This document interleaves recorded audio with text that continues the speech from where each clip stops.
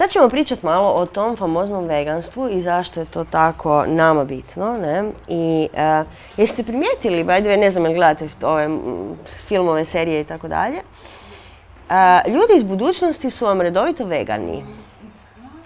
Moderna društva su redovito veganska i to meni bude uvijek super zabavno. Ono, mislim, ono, to ste se sjetili, kužiš, ono, a ne bi nas malo naučili kako da se mi pametnije hranimo. Ono. Ali da, napredna društva su veganska. Dakle, zašto ne jedemo životinje? Sad smo rekli. Zašto ne jedemo životinje? To nas ubija. To nama ozbiljne zdravstvene probleme radi. Što se nas jogija tiče, mi se vodimo ahimsom, znači ne nasiljem. I ako jedno živo biće patilo za taj obrok, taj obrok nije za tebe, nego za, ako neko drugi će hoće, nek izvoli. E, I zbog evolucije, odnosno svjesnosti. I tih naših, e, gle, biljka ima svoju vibraciju koja je visoka. A, životinja prestravljena koja cijeli život živi u kavezu i ono mrcvare je na nevjerojatne načine, nema baš visoku vibraciju, jel tako? Kad ti uneseš taj komad mesa unutar sebe, ti jedeš to.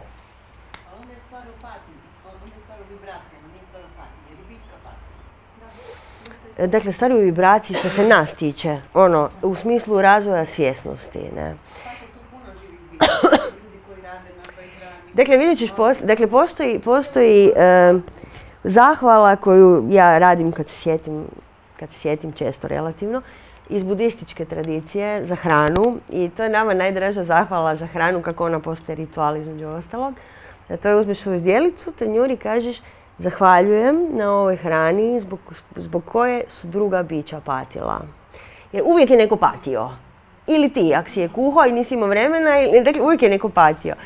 Ali e, trudiš se da barem nije dao svoju, svoju mentalnu patnju unutra, u smislu fizičku, svoje meso da nije dao unutra. Jer e, meso koje pati i koje je ozbiljno zmrtvareno nije baš, e, ne može biti dobro za tebe nikako. Ono. Da. Dakle, jedemo meso zbog politike i društva. Ne jedemo meso zato što nam je fino, ne jedemo meso zato što je zdravo, nego jedemo meso iz navike i jedemo meso zbog plemena u cilju pripadnosti. Okay? Odnosno zbog politike industrije, bla, bla, bla, bla. Ne. mlijeko. Dakle, čovjek je jedina životinja koja pije mlijeko cijeli svoj život. Pije mlijeko druge vrste. E sad, ćemo mi vidjeti koje vrste. Hm. Dakle, jedna krava rodi malo tele. Koliko je tele kad se rodi? Da, poveće, poveće, sanja tele i Ok, koliko je tele kad naraste? Ko krava? Ogromno. To tele naraste u tri mjeseca? Dobro? Pet? Dakle, to tele mora od ovolikog narastu onoliko u par mjeseci. Kakva energija njemu za to treba?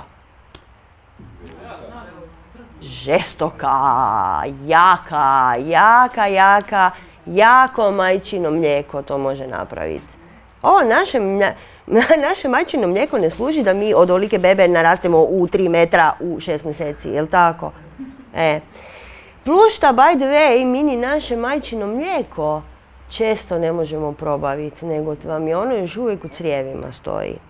Često, ne nužno uvijek. Ko je probao pravo kravlje mlijeko ovdje? Osim tebe. Ok. Super. Kakvo je to mlijeko?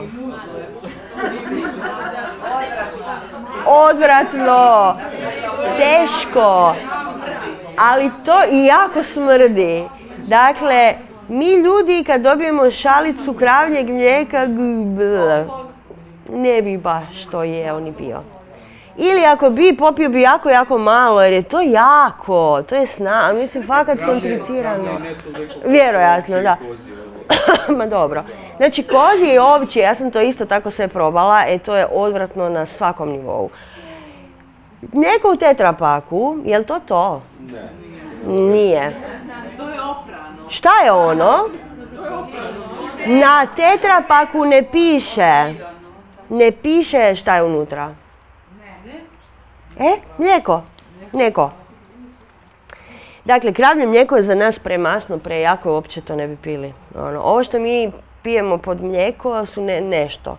Nešto što je e, najprije pretvoreno u prah, a onda je sa vodom napravljeno u nešto, pitaj Boga. Ne želiš to pit, jel tako? Čak i da piješ pravo kravlje mlijeko od tih krava o kojima pričamo, ne o slatkoj kravici tvojoj koju si ti šetao po livadi, to mlijeko je kakvo? Puno patnje. Puno patnje, da, definitivno. Puno masti, puno, dakle, puno opet, te su, ti su nutrijenti za nas prejaki. To je za telad. Znači, vi ćete vidjeti na Dukatovoj stranici, Dukat HR, koja kaže, mlijeko je najsavršenija e, namirnica na svijetu. Za tele, da, za tele definitivno. Dakle, ništa niko nikad ne laže. Ono što je zapravo poanta naša je, dakle, mi e, ne možemo probaviti kravnje mlijeko nikad ikad. Nikad smo mali, nikad smo veliki, ni nikad. Jer to nije mlijeko za nas i nema veze s nama. Mi jedva naše majčino mlijeko možemo probaviti i u nekom trenutku većina ljudi gubi uopće e, sve te e, mehanizme za probavu laktoze. Imate horde ljudi koji su... Hvala. I ovaj, oni jednostavno to ne smiju, ne, ono, ne bi to trebali jesti. Imaš more ljudi koji imaju taj poremećaj, a ne znaju, nego se i dalje prežderavaju sa sirom, onda im je slabo. Ma što stvarno. I onda prde i slabo im je. Ali sir je super, do sira ćemo se vratiti opet poslije. Ono, zato što, mm, dakle, mi ne možemo probaviti mlijeko. To mlijeko, to jest ta kombinacija vode, praška, šta već, truli u našem probavnom sustavu. I zato imate rakove, dijabetese i ostale gluposti, jer nama kad hrana truli organizmu, čak i kad je ona dobra, to za nas nije dobro. I zato nikad nećete jesti voće odmah nakon neke hrane. Jer voće puno brže se probavi i počinje trulit. Zato se voće ne jede nakon ručka, nikad. Ono, ako to niste znali, sad ćete saznati. E, znam, i moje isto. E. Ovaj. Banana i jogurt, da, dakle banana i jogurt skupa, mlijeko i voće skupa, to je najgora moguća kombinacija koju možete. Voćni jogurt to je ono otrov totalni, ono, volili, ne volili. E. E, dakle, to, to truljenje u crijevima, naravno radi more stvari, osim onog dijabetesa kojeg smo malo prispomenuli jer je to sve zakrčeno. E, imate e, tu kiselost koja se pojačava, onda imate upale, onda imate bolest. Uvijek imamo taj zdravstveni problem sa hranom. I e, suprotno marketingu i Dukat HR-u, mlijeko će potrošiti tvoj kalcij. I ne samo kalcij, nego i neke druge stvari. I famozni B12 će ti potrošiti. Famozni B12 jer ja ne znam odakle vama vegan ima B12. Ali ja ne znam odakle vama svima ostalima B12. B12 inače imate u sojinom mlijeku ako ćete ga raditi doma, ali B12 imate u, u zemlji, u vodi. To što mi previše moramo prati svoje povrće u sodi bikarboni, octu i ne znam nija čemu da bi skinuli kemikalije, onda skinemo i te ostatke zemlje. Zapravo B12 imate svugdje nema potrebe za nadomještanjem njega, ali ćete ga potrošiti ako pijete mlijeko i jedete sir, zato što jednostavno tvoj organizam pokušava se izboriti sa time što je dobio i troši tvoje vlastite zalihe jako bitnih stvari. I ja ne znam kako su prošle reklame sa ono osteoporoza, ne znam nija šta, pijte mlijeko pa nećete imat. Kad imate more istraživanja, ja sam sad opet išla tražiti istraživanje, toga ima more istraživanja, ako piješ mlijeko imat ćeš problema s kostima. Točka. Ono, nema dalje. Šta je sa antibioticima i sa ovim tretmanima za krave? Znači, krave su vam, e, e, šutaju ih sa ovim hormonima. Zašto? Da bi imalo stalno mlijeka, jer njeno mlijeko je za njeno tele. Kad ona nema tele, nema potrebu imati mlijeko. Znači, šutaju je sa hormonom. Šta taj hormon radi nama?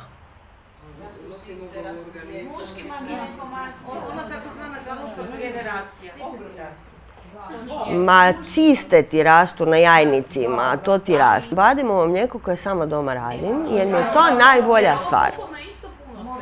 Dakle, kupovno ti moraš čitati etiketu kao prava yoga pro polaznica, da, to nećeš kupiti. Ne. Unutra je šećer, sol, bla, bla, bla.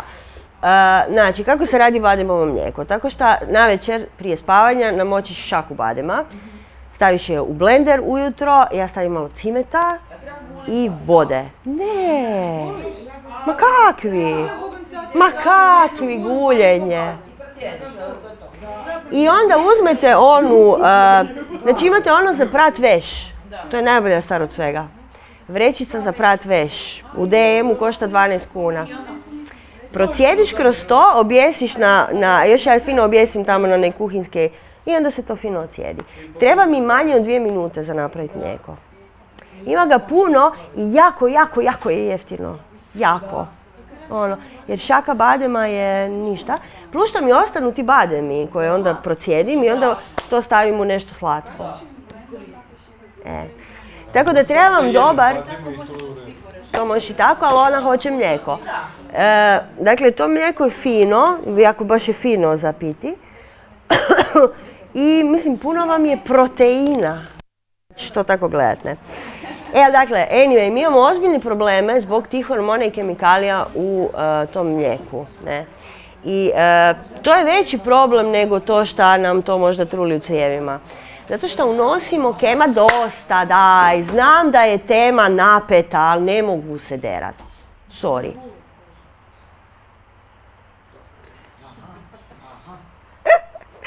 ok. Uh, dakle, nećemo vam pokazati sliku kako se mlijeko radi, jer to je stvarno odvratno. I šta ta jadna nesretna krava proživljava. Mislim, vidjeli ste te slike i to, ono, to je apsolutni užas. I dakle, mliječna industrija, svi bi trebali na strijeljanje ono, od ono, zločina koji rade.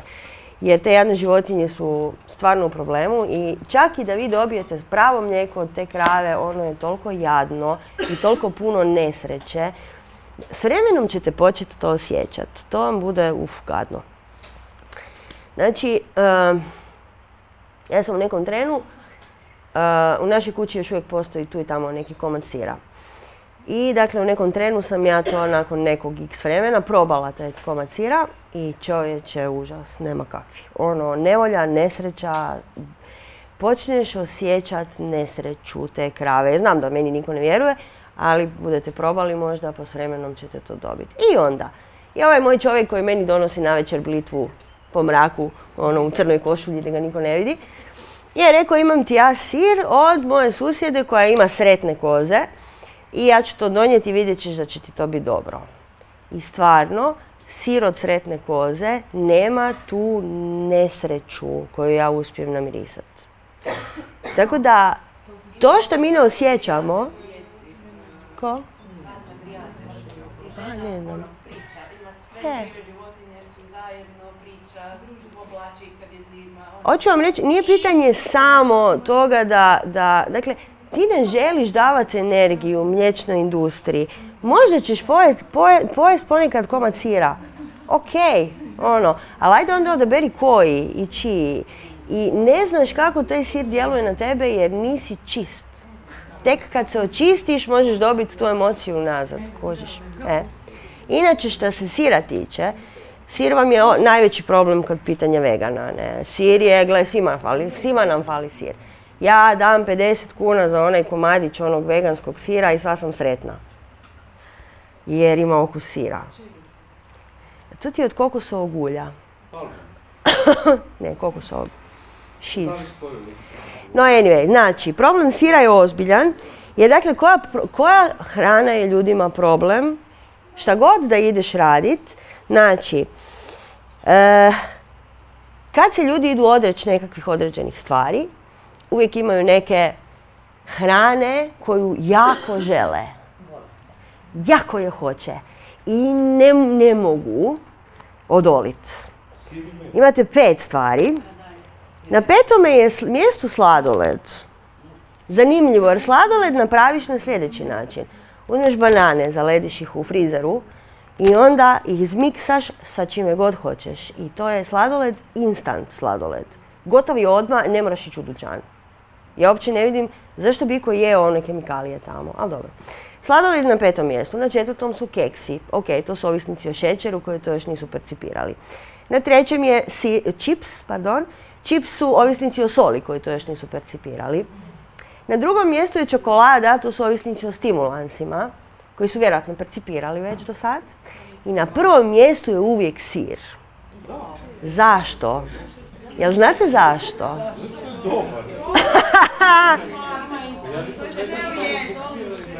Zato što sir sadrži narkotik ili ti opijat koji se zove kasein.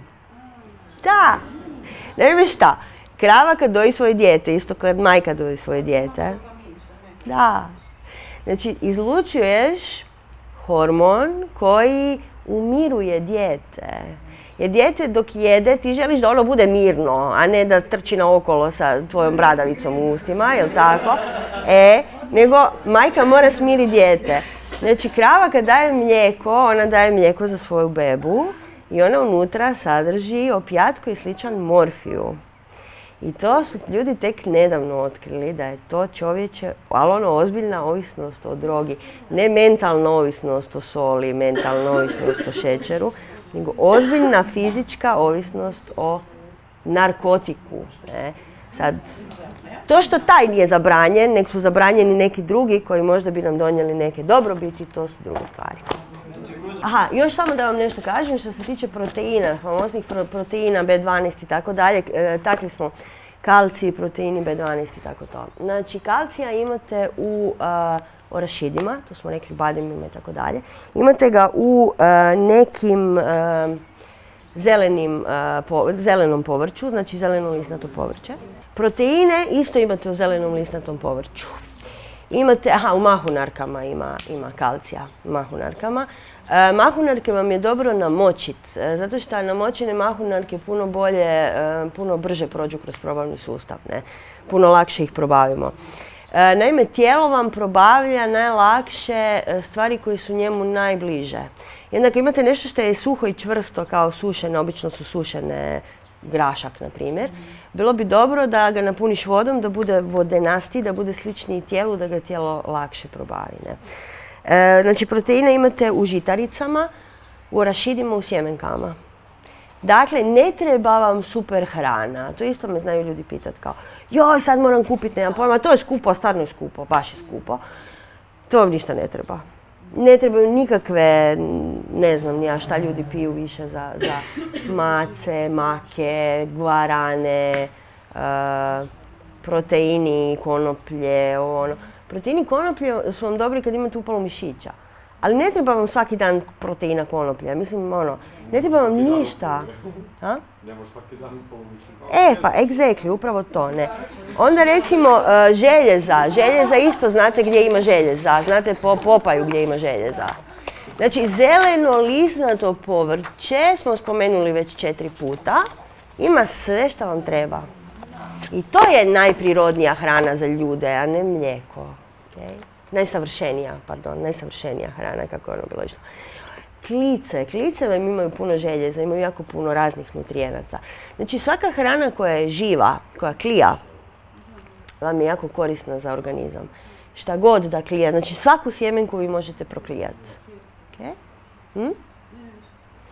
E, možete doma, to je fakat jednostavno. Staviš to u malo vode, natapaš, mijenjaš tu vodu i ono, to klija. Šta? Ne. Ja, ja obožavam klice, ja jako volim. E, ono što također ljudi često, često meni pitaju, a to je, to veganstvo je komplicirano. Dakle, veganstvo je komplicirano u smislu da ne možeš izaći u restoran uglavnom. Nemaš šta jesti Ali želiš li jesti u restoranu? Malo prije smo zaključili da ne želiš, jel tako? Veganstvo je izuzetno jednostavno. Isto koji svaka promjena, samo je pitanje odluke. Okay? Ne kupiš to što ti ne valja, ne jedeš to što ti ne valja, u nekom trenu ti to počne jako smrdit i više to ne želiš i vrlo, vrlo sve skupa jednostavno. I nije dobro nikad biti ni jako radikalan. Okay? Ali nemojte si, nemojte sad dat, jer ja to kažem ono, jel te, otvorene ruke za bilo šta. Nije pitanje izgovora, nego gle, ako ti završiš na komadu pice jednom u šest mjeseci, što smo malo prije spomenuli, ma okej je. Mislim, nećeš se otrovati jako, malo. To tvoj organizam koji je zdrav može podnijeti. Ono, u čem je problem? Nije ideja biti radikalan, ideja je biti zdrav i paziti šta radiš nije dobro biti radikalan. Svaka radikalna odluka te blokira. Ne vibriraš dobro. Moraš svako toliko pustiti, istražiti ponovo jel ti to paše, ne paše. I da, super, pizza svaki šest mjeseci može. Ali ono, samo misli. E, i nemoj popiti čašu mlijeka. E. Dakle, što se tiče, što se tiče ovog e, veganstva. u principu, to je velika fama se tu dogodila. Jer ljudi e, žele svoje pravo da jedu i mrcvare životinje. Jel ta? Mislim, sreli ste se svi sa time sada u zadnjem periodu. I ne žele misliti, ne žele preuzeti odgovornost za svoj život. Jer je ovako lakše. Jel tako? I to je zapravo jedan mehanizam koji se javlja kad si ti žrtva nasilja. Da ti ne želiš mislit, odbijaš svaku odgovornost i radiš samo ono što ti je rečeno. Okay? To je mehanizam koji se događa kad ste vi žrtve nasilja. Da li smo mi u našem društvu žrtve nasilja? Apsolutno. I zato je problem veganstvo jer su ljudi zapravo ovisni o, svojem, o svojoj ulozi e, žrtve u tom nasilju koje se događa. Znači, jako je to duboko psihološki usađeno. To nije samo pitanje odluke, hoću ovo, neću ono, više volim vaniliju ili čokoladu. Nego je, stvar je jako duboko ukorijenjena. E. I zato je tako teško to promijeniti. Ali teško u smislu globalno teško. Ali kao što vidite, mijenja se onako prilično brzo, ne brzo koliko bi ja, ali ono, ok, ne. Onda me znaju ljudi pitati kao, ok, ali šta kad moja mama meni skuha srneći gulaš? Ko što je moja mama jednom meni skuhala srneći gulaš, onda sam ja samo otišla. To nije bilo u redu, ja se slažem, da to nije bilo u redu, nije bilo pristojno, nije bilo, to je bila himsa, to je bilo nasilje s moje strane. Ali u jednom trenutku sam od jedne pametne žene čula odličan odgovor koja je svojoj mami rekla Draga mama, ovo je poklon za tebe, a ne za mene. I ono, evo, izvoli, molim te ti to pojedi jer, ono, to si ti sama sebi skuhala. Ne? Bila je pristojnija. Mm, znam da me oduševila ta reakcija, taj čas, jer sam se uvijek batrljala se time kako ne biti jako agresivan prema ljudima koji ti naturaju razno razne stvari. Ne? I e, da se razumijemo, ima ljudi koji će ti e, sa, sa, velikim, sa velikom ljubavlju dati neku hranu koju ti iz nekog razloga možda nećeš htjeti ili ne znam. U tom slučaju biraš između himse a himse ili nečeg što je meni bilo totalno prosvjetljenje, kad je isto tako gospodin Page to rekao na svom predavanju, a to je nikad nemoj odbiti ljubav. Ok? Znači, moja mama i moj srneći gulaš, to nije bila ljubav. To je bio inat. Ona je meni to skuhala iz inata. Ali, moja baka, dakle ja sam postala vegetarijanka sa 14 godina i ona je to apsolutno poštovala. Trebalo je neko vrijeme, ali kratko. Gle, malo sam ja bila čudna za sve njih, o sve pet. I ona je meni kuhala maneštru bez mesa, sve ok. I ovoga, međutim, ja kad bi došla ona bi se potrudila meni nabaviti tri fete pršuta. Jer ja kad sam bila mala, ja sam jako voljela pršut. I iz njene perspektive pršut nije meso. Pršut i meso to su dvije različite stvari. Pršut je luksuz, jer gle, ono, ona sad već imala bi puno godina, ono, bio je nekad davno jako veliki luksuz, kužiš, i on, pršut je luksuz, to nije meso, kužiš. Meso je vodojak, šta znam, nogica, whatever, batak je meso. Jel pršut nije meso? I onda bi ti ona meni nabavila pršut i ja bi ti to uredno svaki put pojela. Jer to, to nije ono mjesto gdje odbijaš. Znači odbit ćeš tamo gdje fakat znaš da te stvari nisu posložene na pravom temelju. Ste me razumjeli? Ok. To ti je zato što ti ljudi shvaćaju tvoj odabir, umjesto da, da shvate da je tvoj odabir zapravo tvoja sloboda da ti odlučuješ, oni to shvate kao ja više volim jedno, a manje volim drugo. I onda da, ja malo manje volim karfiol, pa ću pojest karfiol, eto, ajde. Ali to nije pitanje toga. Znači, oni ne razumiju e, podlogu te odluke, shvaćaš? Jer podloga odluke je ja biram i ja odlučujem, ja mislim o tome šta to meni radi. Kužiš? To je podloga. Podloga je biti e, zdrav ili bolestan. Podloga je zapravo sačuvat svoju, svoj život je podloga tvoje odluke da ne jedeš nešto šta već si odlučio. Ne? Neće ti ništa biti Da, neće. Apsolutno neće. E, dakle, u tom trenutku biraš da li je to ljubav. Ako je to velika ljubav, onda ćeš to pojesti. Ok. Ono. Ali ako nije, nego nje, šta najčešće je, mm, o, je, to onda nije ok. Sorry, onda je to poklon za tebe, ne za mene. Um, Yoga i veganstvo su naravno prirodni partneri jer yoga šta znači yoga? Šta znamo da znači yoga? Ujedinjenje, povezivanje sa svime oko sebe, ne samo sam sa sobom. Razumijevanje svog tijela, jel te, koje je ovisno o kemikalijama, bože moj, kušiš ono. I um, Način na koji smo mi povezani sa prirodom je u jogi jako važan i zato mi imamo, e, poštujemo cikluse, ne znam, pun mjesec, ovo ono, tako. Pokušavamo se vratiti na nekakvoj prirodnoj inteligenciji, tako ćemo to nazvati sa jogom. I ako gledamo asanu kao, kao e, jedan način da se ti povežeš zapravo sa zemljom, asana, sjedalo, sjediš na zemlji, sjediš, jel te? ti se zapravo kroz asanu povezuješ sa zemljom. Ti želiš da tvoja asana bude kakva? Stabilna, jel tako? Prizemljena, stabilna i udobna, radosna, jel tako? Želiš da tvoj odnos sa tvojom hranom bude isti takav, stabilan i radostan, jel tako? a ne nemam pojma šta radim. Jer da ti na matu nemaš pojma šta radiš, šta bi ti se dogodilo? O, ozljeda, jel te? E, ovdje ti se desi ozljeda, ali ne kužiš da se dogodila. E. Unutra se desi ozljeda, ali ti ne znaš da se desila. Ne? Em, da. Još ima kod joge, e, što se joge i veganstva tiče, znači, osim ahimse i osim suosjećanja i osim povezanosti sa prirodom, imaš taj stav da naša kultura ne bi trebala biti kultura ropstva, jel tako? Nego bi trebala biti kultura u kojem žive slobodni ljudi. To je društvo slobodnih ljudi. To je ideja jednog jogija. To što to nije tako, mi ćemo se praviti da je, pa nas tu 20 će biti bit slobodno, ne, dok smo tu barem, ne.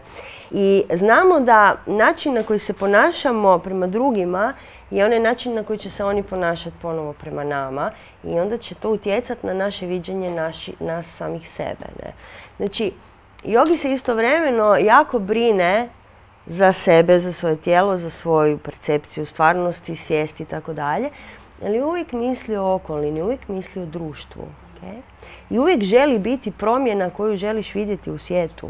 Uvijek, uvijek, uvijek. E, e sad, dakle što se mesa tiče, dakle anatomija naša kaže, e, dakle najprije ovo su naši preci. Jel da? Naši rođaci majmuni jedu šta? Jedu banane u mnogo velikim količinama. E, dakle, naši najbliži rođaci su čimpanze i gorile, oni su vegani. Dakle, kad ti vidiš gorilu, jel bi rekao da je vegan? Jel da da ne, čini ti se da bi proždro sve što prođe pored njega. A on proždire lišće. Ok, dakle, postoji jedan mit koji kaže da su ljudi predodređeni da jedu meso. To smo čuli milijardu puta, jel tako? Kako ako su ovo naši najbliži rođaci? Ili, ono što ja još više volim, u divljini životinje ubijaju za svoju hranu. Samo kad. Jel, mi živimo u divljini? Ne. Jel mi živimo tu, jel to, mislim ono, ne, mi živimo u supermarketu. Tako je. Samo ljudi love zadovoljstva radi, ali to nećemo ulaziti. Idemo ulaziti u anatomiju. Znači, anatomija naša kaže da bi mi trebali jest biljke, evidentno.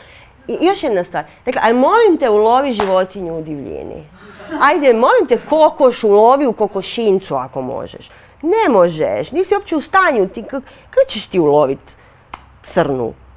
Mislim, ne znam gdje bi počela uopće, kužiš. Mislim, ono, kako, s čime? e, imaš luk i strijelu jer imaš mozak, naravno, ali dakle, anatomski ti nisi u stanju uloviti životinju. Naš evolucijski put je opet, opet je krivo skrenuo.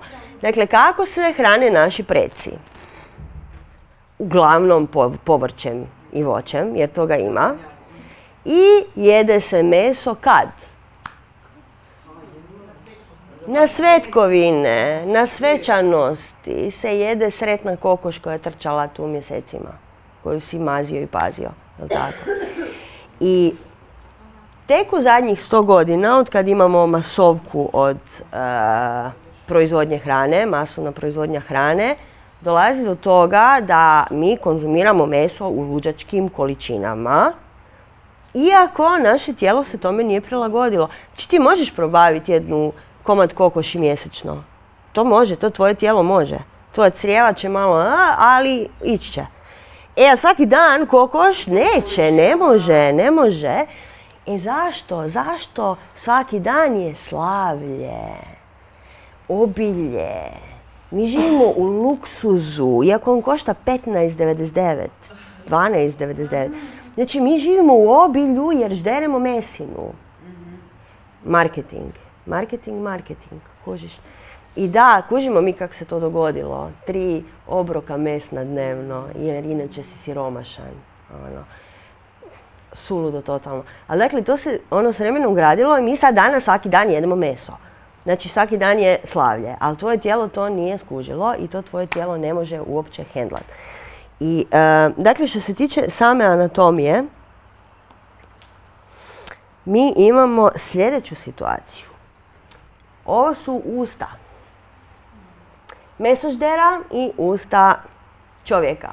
Razlikujete. I tu sad još imamo razne neke druge stvari. Nećemo uopće ulaziti sad previše unutra jer mogli bi. Dakle, u naša usta stane mali komad hrane, jel tako? Imamo zube, kutnjake za žvakanje. Mi moramo prožvakati tu hranu sa slinom da bi ona uopće ušla. Mesožder šta napravi? Otrgne ogromni komad mesa, veliki, i onda ga proguta. Znači, nemamo uopće to mi nije, nije način na koji radimo. Ne?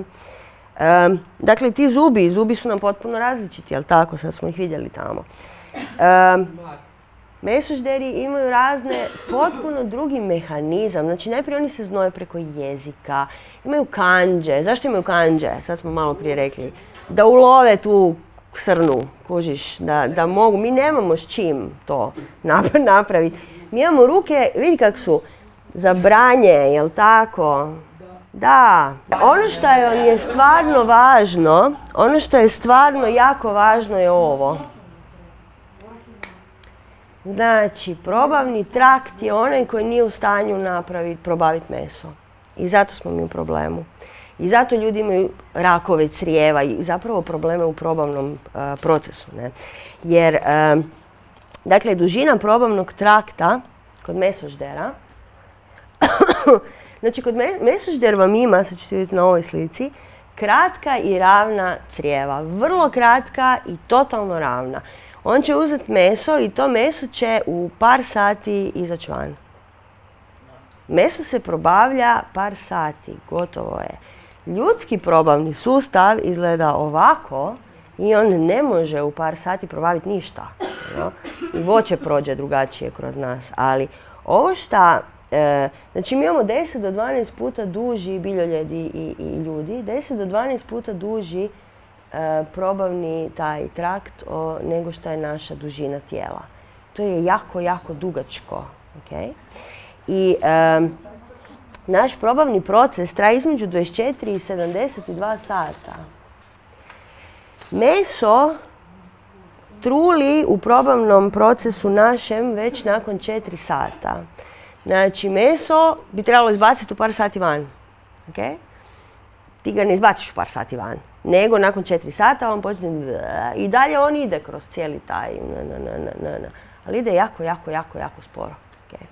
I tu je zapravo onaj pravi anatomski problem koji je ono ključan za nas da, da razumijemo zašto je taj, taj proces. Dakle, mi imamo ozbiljno komplicirani proces razgradnje svih tih nutrijenata i svih tih gluposti što unosimo unutra.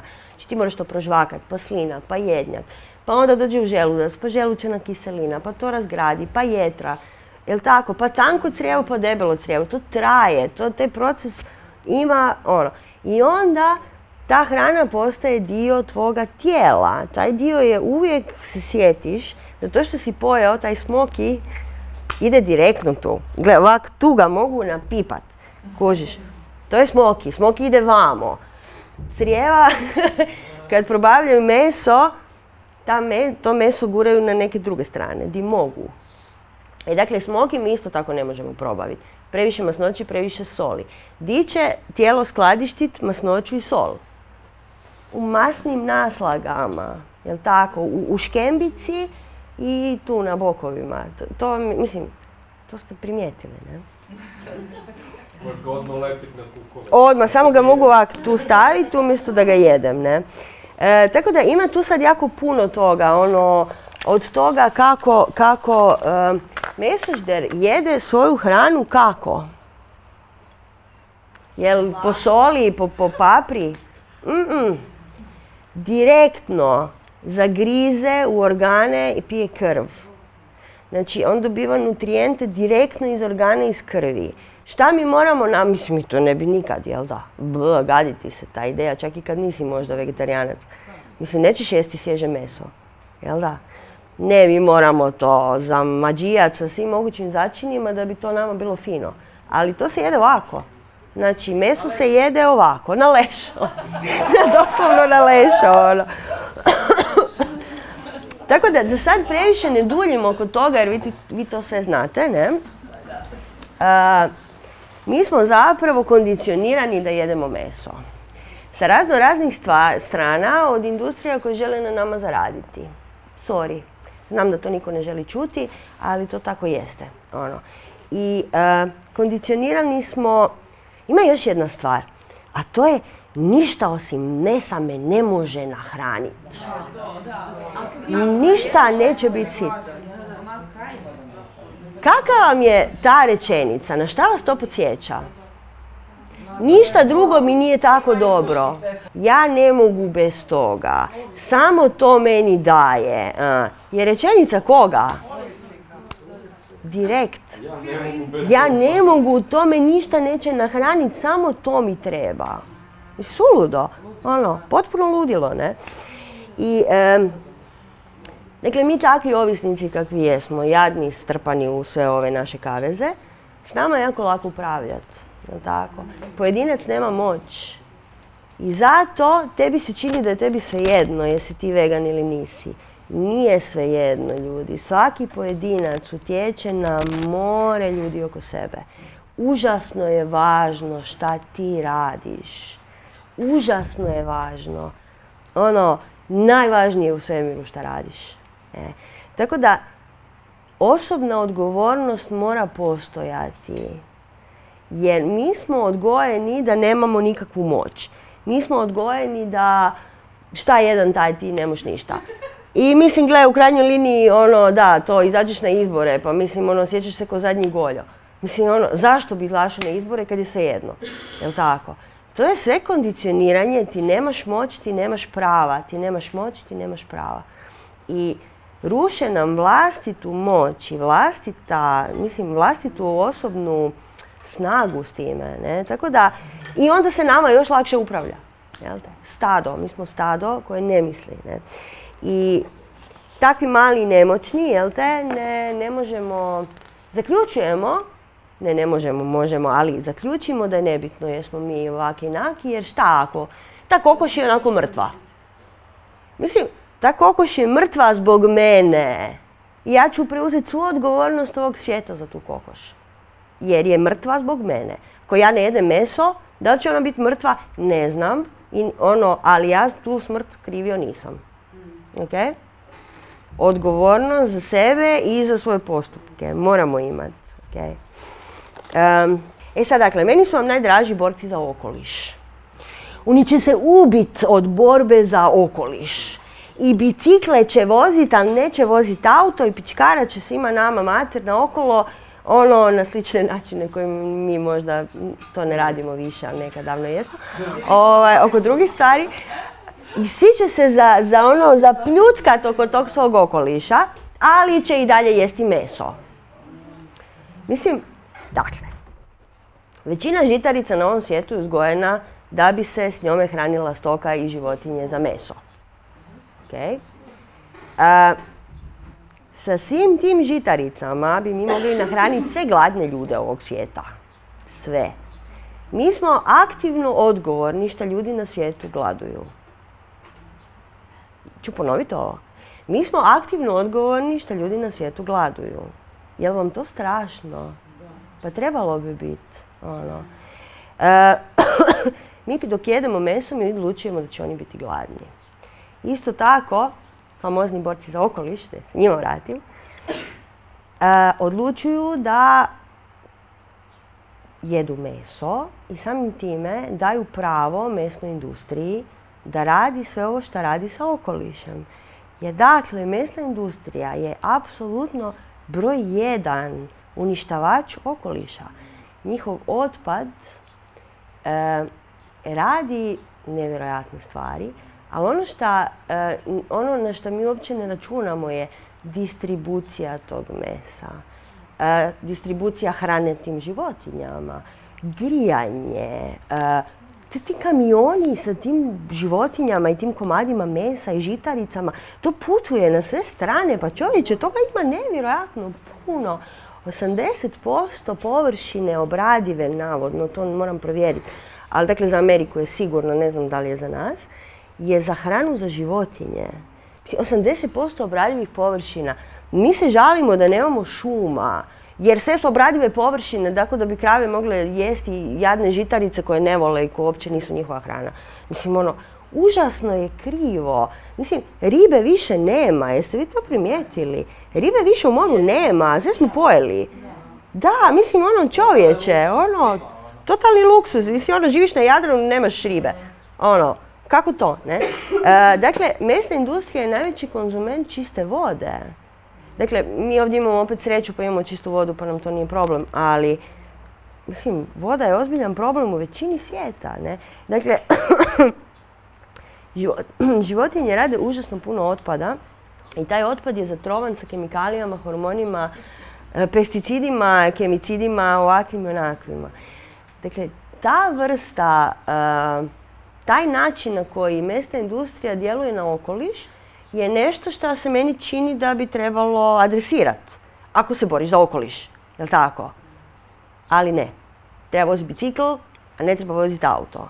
A to što je ono 48 kamiona jutros prošlo po zelenom valu sa komadima mesa unutra i toga svega ostalog, to nije važno. Treba se, dakle, hoću vam reći, ljudi koji misle da čine dobro s nečim, opet nisu razmislili do kraja. Bilo meni super jedan, jedan primjer iz moje bliže, nebitno. Dakle, jedna curka nešto diplomirala, taman ovo ono, i sad ta diploma, i sad ja nju pitam kao, pa dobro, šta ćeš radit? Ono, i to, diplomirala super neki predmet, psihologiju, sociologiju, nešto fora. Ono. Kao, dobro, što ćeš raditi? Ne? Kao, joj, ona bi radila nešto za delfine. I sjedi u restoranu i ždere tunu, ja mislim, ili tako nešto. Ja kažem, a, radila bi za delfine, prvo što ćeš napraviti je prestati jest ribu i meso. Mislim, ako ćeš raditi nešto za delfine, ajmo raditi, ajmo početi od bazične stvari. A ne ono, ona će sad volontirat na delfinu jahat dok joj kosa viori. Mislim, to nije to, ljudi. Kužiš, ono, ajmo početi to... Da, to ju je šokiralo momentalno. Uopće to nije očekivala, ali dobro, ono, to što ja kažem, ja sam luda pa nema veze. Ovaj, dakle, da eliminiramo meso, bila je studija nedavno, šta bi se desilo na svijetu da eliminiramo meso, odnosno žderanje mesa u ovim količinama kojima to radimo sada. Promjena klime kompletna, zato što ti ispušni plinovi, odnosno ti staklenički plinovi, su u principu od čega? Od svega. Od industrije mesa, uglavnom, ono velikim dijelom. Ne? I to za 60%. Znači za 60% bi se smanjila emisija stakleničkih plinova. I sad, dakle, to su radili neki ozbiljni istraživači tipa Oxford ili tako neko. I mislim, to je ozbiljna ideja, jel tako? To, bi, to je jedna ozbiljna ideja šta bi se tu dogodilo s nama da to ne radimo. Onda kaže da sve ove, sve ove, sva poljoprivredna zemljišta koja se koriste za hranu za životinje i same životinje, možemo šta napraviti od njih? Šume, poljoprivredna zemljišta za nas, jel tako? E, ove rezervate za životinje koje su ozbiljno prognane, tipa vukovi, zato što vukovi jedu ove stoku kojom se mi hranimo. I onda su vukovi jadni skoro ono izgubljeni zato što ih mi ubijamo i ne damo im, nemaju šume i tako dalje i tako dalje. Dakle, prirodna staništa prirodnih životinja bi trebala se vratiti u normalnu s time. Dakle, imalo bi jako, jako puno utjecaja na globalnu sliku da mi počnemo biti moderno društvo koje zna šta radi. Ne? Kaže da bi nam trebalo 20% obradivih površina koje imamo sada za sve ljude na svijetu. Znači pričamo o tome da ljudi gladnih više nema. Okay? Nego 20% obradivih površina bi nahranilo sve ljude koji postoje. Mogli bi rađati još malo. Ono. Mogli bi nam biti još više. Ono. I naravno dođemo do toga da bi bilo, ja mislim da je rekao 8 milijuna ljudi godišnje ne bi umrlo. 8 milijuna ljudi godišnje umre od tih posljedica razno raznih gluposti. E, tako da, mm, troškovi liječenja, to nismo ni takli. O, pa mislim, gled, nije tu farmaceutska industrija slučajno došla. Ono. E, dakle, troškovi liječenja su, ja mislim, 2-3% BDP-a. Ono. Troškovi liječenja zbog tih naših prehrambenih pizdarija. Ovo je isto zanimljivo. Znači, vraćamo se prirodnoj prehrani. Prirodna prehrana je da jedemo voće i povrće i da onda za svetkovine pojedemo kokoš, jel te? Mi bi da ne bi bilo, da, mi, bi, mi bi da nema ni te kokoši, jel da? I onda nas napadaju ljudi da kako to bi se mi vratili prirodnoj prehrani, a u prirodi se jede meso, jel da? Jer tvoj predak nije bio vegan. Kažeš, dobro, ali kao moj najbliži rođak je vegan, kao, ono, pa ljudi jebi ga. Malo su pogriješili, kužiš. Međutim, e, to je jedan glupi argument koji će vam ljudi imati, koji je samo jednostavno glup. Jer ako je pećinski pračovjek jeo šta god da je jeo, i mislim je da to stvarno moram slijediti. Ono, jel tako? On je jeo šta je našo. On je jeo šta je našo, exactly. I zatuko je bedrenom kosti neku jadnu životinju, pa ju je nekako pripremio. Pa, to hoću ti reći, ono mislim, ono slučajno je zatuko, ne. Inače, e, dakle, to meso bilo je, e, bilo je jedno zanimljivo, e, nije čak ni istraživanje, nego baš slučaj. Mislim da je to bio Manchester u nekom trenutku, isto tako 80-ih. Nekakve klaonice su se dogodile u tom gradu i ljudi su postali jako, jako agresivni. Znači, to što, ja uvijek najlazim na jako puno skepse kad to kažem, ali evo s vama to mogu, to je te životinje su jako nesretne, jako pate. Taj oblik nasilja koji mi vršimo jednim drugima zapravo i onda postepeno i na njima, je nešto što se širi vibracijom. Znači mi imamo naša energetska polja, ali tako, kojim djelujemo na naše energetska polja.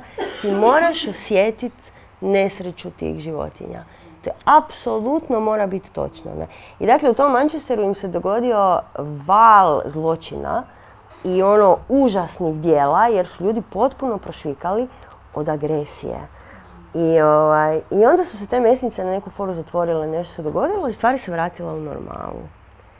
Znači, naše djelovanje, odnosno naše primanje informacija od tih, eh, od mesne industrije je puno veće nego što se nama čini. I možeš ga mjeriti samo na ovako radikalnim nekim eh, primjerima. Jer kako ćeš ti izmjeriti kako djeluje klaonica na tvoju kuću? Možda ćeš vidjeti, ne? E, no dobro. I automatski, by the way, budući da dozvoljavamo to nasilje i tako dalje, to smo pričali na prvom onom uvodnom predavanju, mi imamo kulturu ropstva. Mi živimo kao robovi.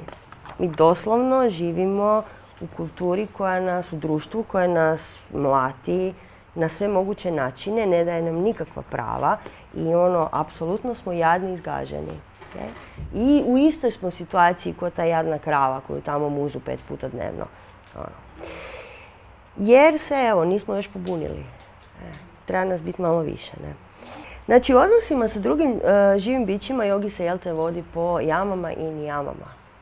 Znači, ako idemo gledati našu prehranu prema jamama i nijamama, odnosno više manje jamama, budući da se one odnose na nas, Imamo šta? Znači imamo prvo ahimsu nenasilje, je li tako? To smo riješili, to znamo. Imamo satiju, odnosno istinoljubivost. Aha. Evo nek stoji malo. Imamo satiju, odnosno istinoljubivost. Dakle, sve oko naše hrane, mesa, mlijeka, bla, organskog, neorganskog je zamučeno neistinama. Je li tako? Uh, asteja, neotuđivanje. Odakle to mlijeko došlo? Ukrali smo ga, direkt smo ga ukrali. Mislim, uopće ono. Brahmačarja, krađa tuđe energije. Jel tako? Užas, apsolutni užas. I aparigraha, bacamo hranu da bi ona postigla bolju cijenu, jel da? Ono, silosi pšenice, umjesto da tamo gladna djeca u Africi jedu, oni se istresu u more. Mm, to svi znamo. To svi znamo i ništa ne radimo po tom pitanju, ne? Dakle, sad ćemo ovo maknuti, ne? Ok, imate Hatha Yoga predipiku koja kaže sljedeći uzroci uništavaju jogu.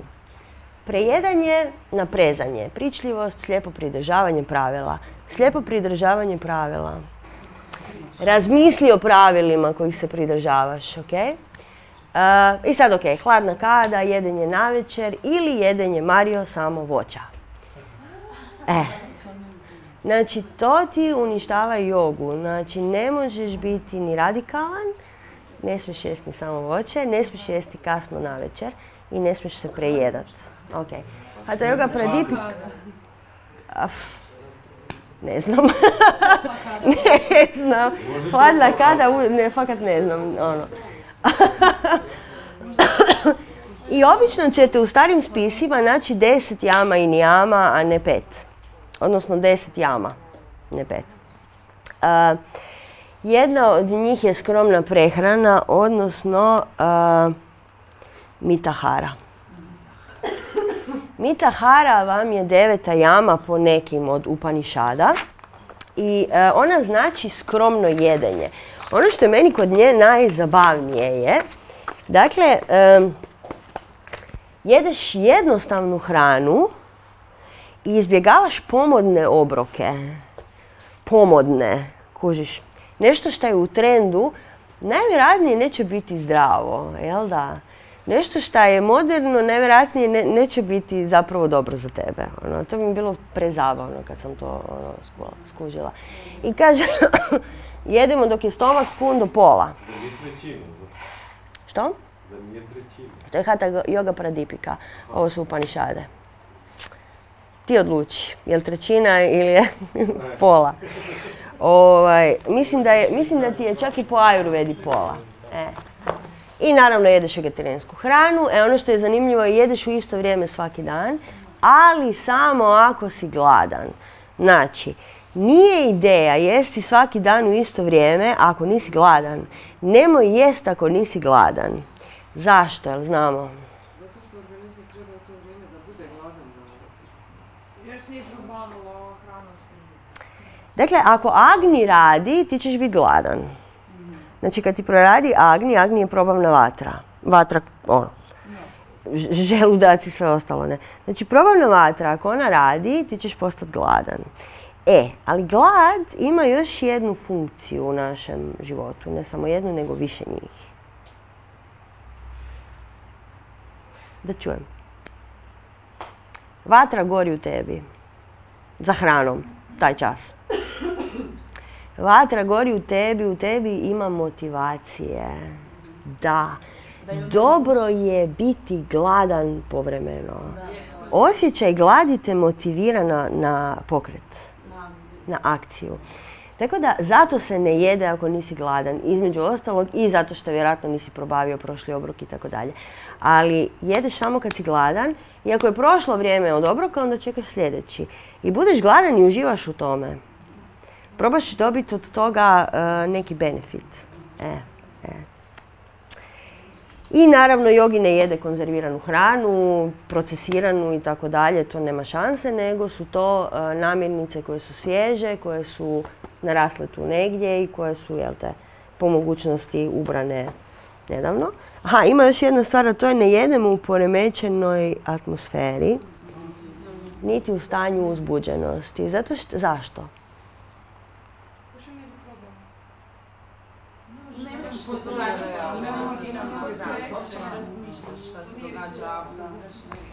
Dakle, evo vam ti primjer. Kad si ti pod stresom, šta, šta radi tvoj organizam? Šta ka? Zapravo probala. Ne radi probava uopće. Nego hrana radi šta? Hrana ti truli u crijevima. Kužiš. Znači probava ne radi ako si ti pod stresom, nikad, ikad. Zato što tijelo gasi probavu, gasi eh, hrpu druge stvari, libido, gasi sve, osim adrenalina. Kužiš. Tako da, ako ste pod stresom, nemojte jest. Ha.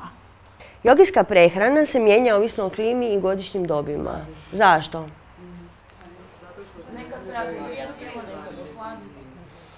Zato jer se po prirodi ravnaš, jel tako? I po tome da ti je hrana svježa. Znači hrana je svježa je- jer je izrasla nedavno. E, sezonska, to sam tražila, hvala ti. Ok. E, dobro, razumiješ sve šta jedeš i tako dalje i tako dalje, dobro. Ovo je bilo zabavno. E, također, jogi naravno uvijek misli o posljedici svoje hrane. Kako ću se ja osjećat nakon što pojedem XY? Dakle, ako ćete pojest picu, popodne nećete sigurno ići vježbat štangu. Nema šanse, ne možeš. Jednostavno tijelo ti je teško. Ne? Tako da, tako da e, misliš o tome kakav učinak ta hrana ima na tebe. E sad, ovo je, ovo je ono kako, se mi, e, kako mi e, razlikujemo učinke hrane. Imamo tri gune u našoj prirodi. E, jesmo pričali ikad o tome? Tri gune su zapravo načini na koji priroda e, funkcionira cijelo vrijeme.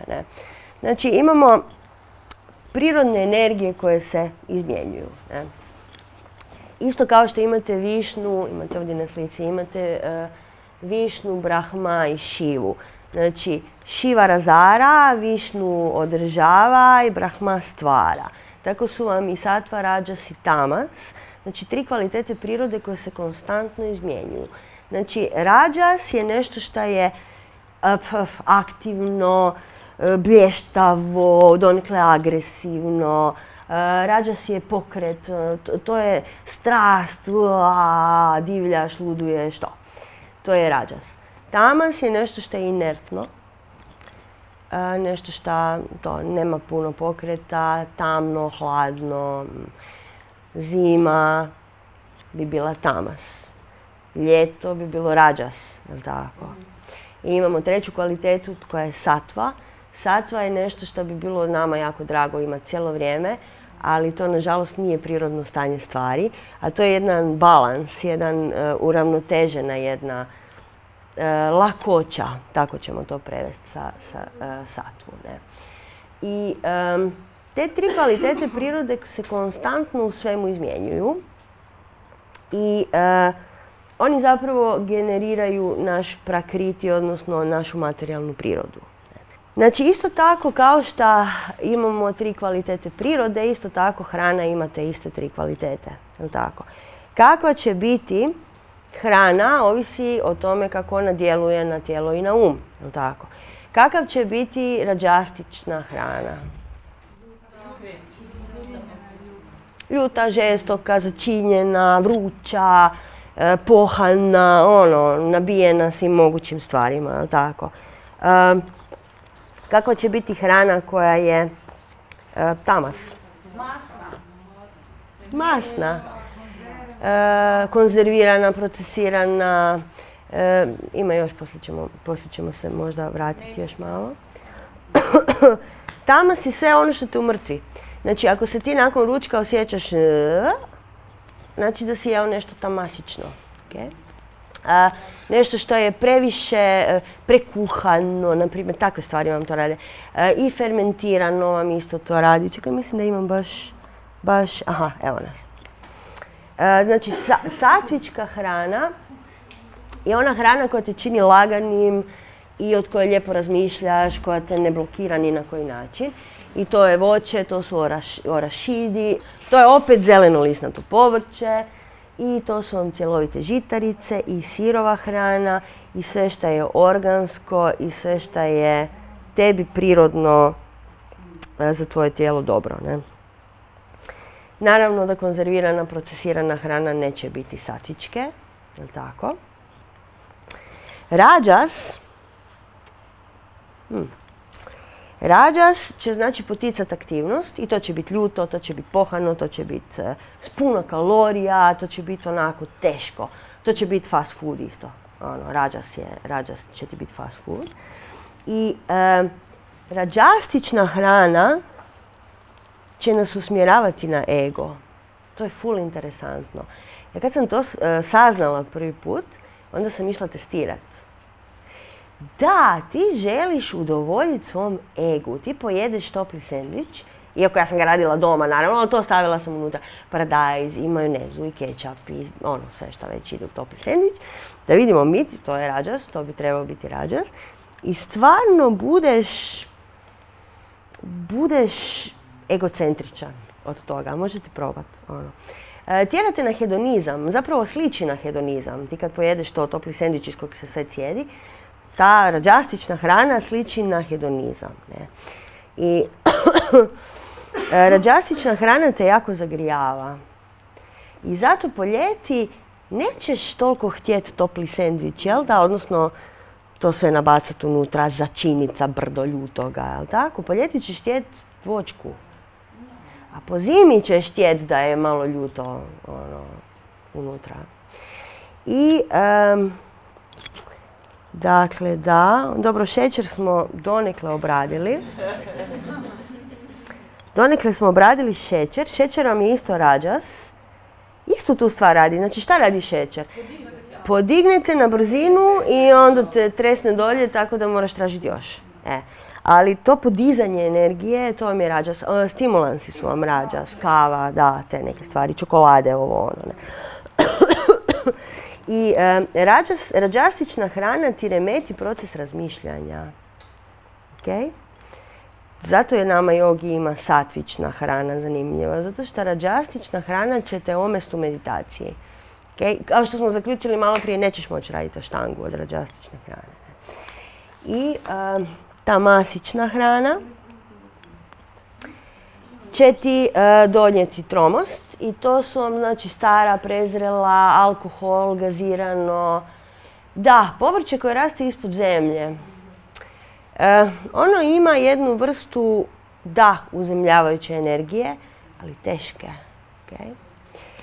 I e, hrana iz mikrovalne, naravno. Dakle, hrana iz mikrovalne pešnice... Molim?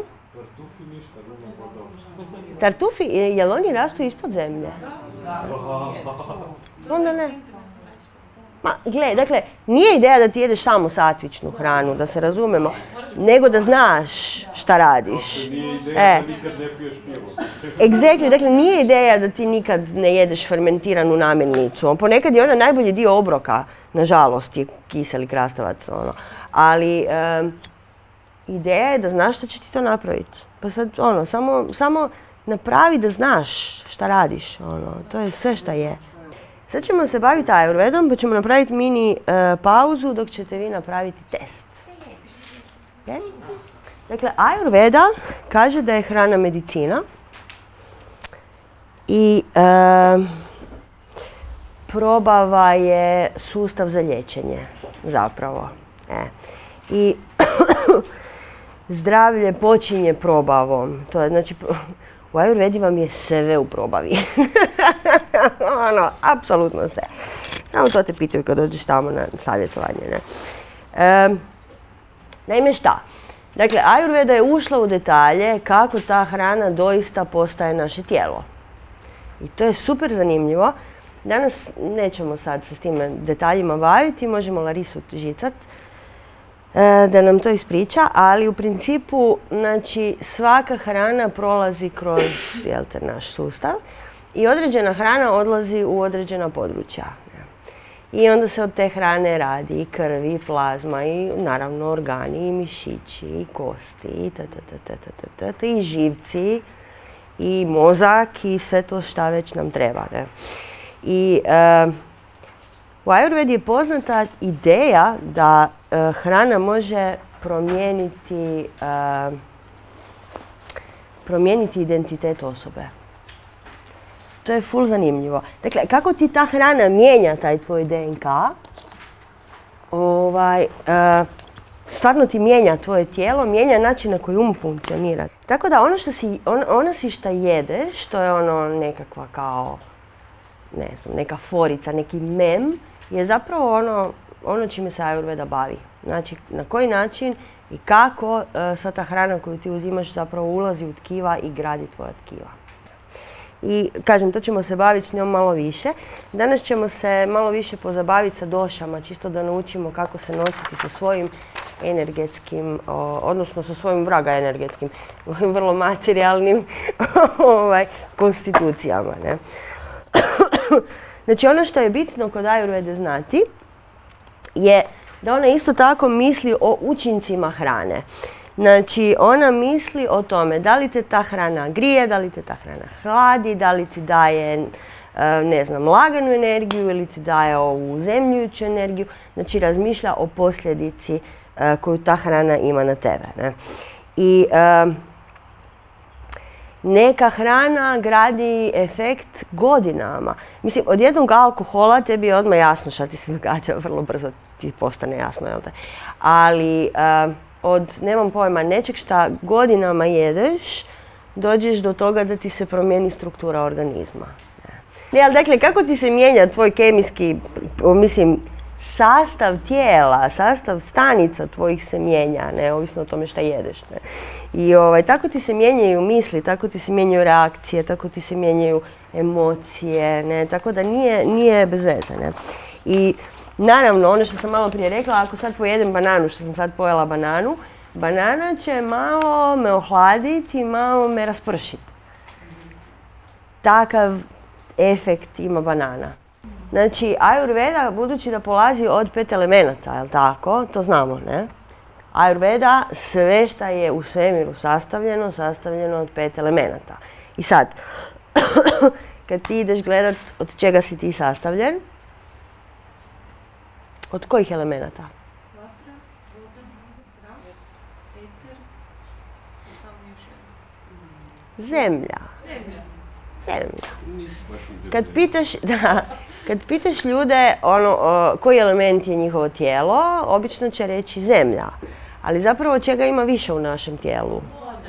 Vode. Eter vam je, zapravo su četiri elementa, eter je malo čudniji, više vibracijski onako, ali dobro, to, ćemo sutra više, više e, raditi. Dakle, kroz ajurvedski, znači ajurvedska prehrana podrazumijeva da ti uzimaš elemente iz prirode i da ti elementi onda grade tvoje tijelo. Jel tako? To je dosta logično zvuči. Ne? I zato hrana mora rasti u zemlji i da bi apsorbirala u zdravoj zemlji a, sve elemente koji ti trebaju. Ne? I a, kad ti pogledaš nutrijenti koji ti trebaju, to su zapravo e, sve u elementima. Ne? I ovo su naše konstitucije. Znači vata pita kafa, ista stvar, sastavljeni smo od elemenata. Znači vata pita i kafa su tri moguće konstitucije koje mi imamo. Najčešće imamo dvije od tri. Nismo, če, če, uglavnom niko nije samo jedna. Ne? Odnosno imamo sve tri u omjerima koji su za naše stanje prirodni. E, vidjet ćete vi koji imate dvije, to je malo tlakasto za, za pratit, ovaj, e, a većinom imamo, kao što rekoh, dva, dve, dve, dvije toga, ne.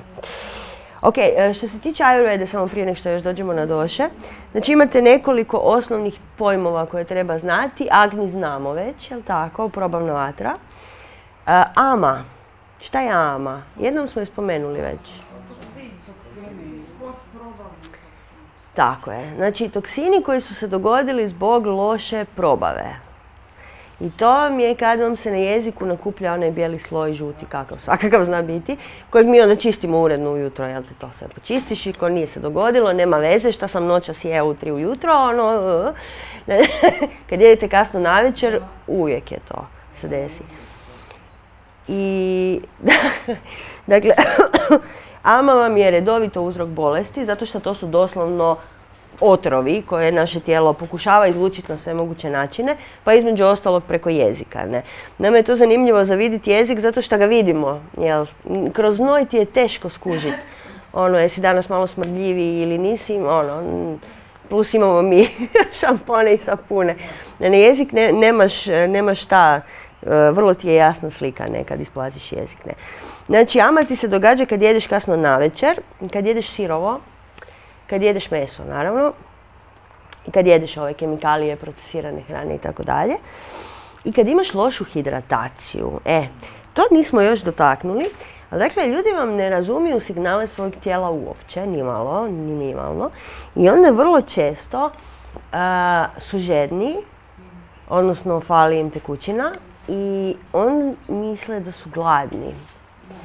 E, to je baš interesantan kako pobrkaš te dvije stvari. Ono. Inače u Ayurvedi ne pijete apsolutno ništa osim vode i općenito to vam je, to je jedino što se treba piti, ono, voda i to topla. Topla, odnosno na temperaturi koja... Dakle šta, tijelo kad uzmeš e, tekućinu, na primjer hladnu vodu, ona mora, e, tijelo mora tu vodu zagrijati da bi ušlo u probavni proces. Znači ti želiš da sve bude šta sličnije temperaturi tijela. E. Naravno u Ayurvedi isto imate zahvale, isto imate rituale, to sve znamo šta sve ima. Znači više manje svakom kompletu prehrane koji ima smisla imate iste stvari, ono rečene. Ne? E, da, žvakanje, žvakanje nismo još dotaknuli. Žvakanje? Ne žvakanje žvakaće. Znači žvakanje žvakaće se ne žvače zato što čim žvačeš probavni sokovi se krenu. E, ali ako ti imaš žvakaču ti nisi ubacila hranu. E, znači ako ti ne prožvačeš svoj zalogaj, nego ga samo utrpaš, šta hrpa ljudi radi, jel te? Nego ne žvačemo ništa, nego op, op, op, op, op. E, u principu ta hrana nije došla spremna u želudac, ne?